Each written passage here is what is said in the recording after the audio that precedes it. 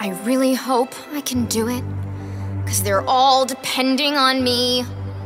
I know that I must leave the only home I've ever known and brave the dangers of the forest, saving them before they're eaten.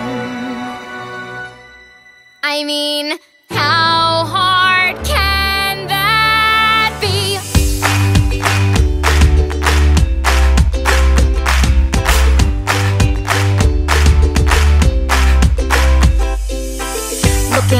a sunny sky so shiny and blue And there's a